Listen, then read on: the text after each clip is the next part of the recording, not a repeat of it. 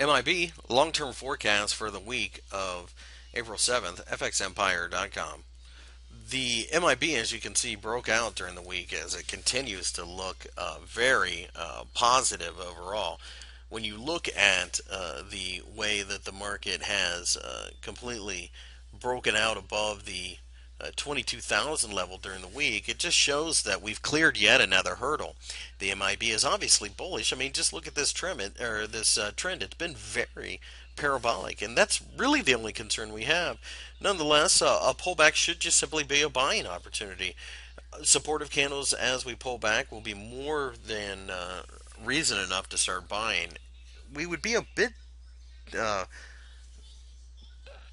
we would be a dent uh, a, a, bit